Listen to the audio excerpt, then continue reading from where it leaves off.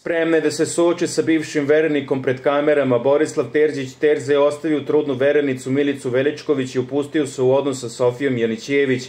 Zadrugari su ga osudili zbog ovog postupka.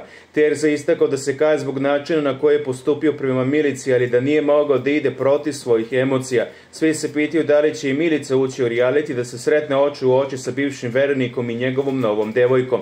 Veličkovićeva je aktivna na društvenim mrežama i redovno igra mečeve na TikToku. U je u uključenju pričala sa bivšom zadrugarkom Bojanom Pavlović i njih dve su komentarisale njen ulazak u elitu. Mirica je istakla da je samo zanima novac i da nije isključeno da će kročiti na velelepno imanje u Šimonovcima. Što se tiče mog ulaska, pošto me ljudi pitaju, od te priče nema ništa za sada. Iskreno, jako i bude neka priča, ovo je jedina priča koja me zanima, rekla Milica i rukama pokazivala da je zanima novac.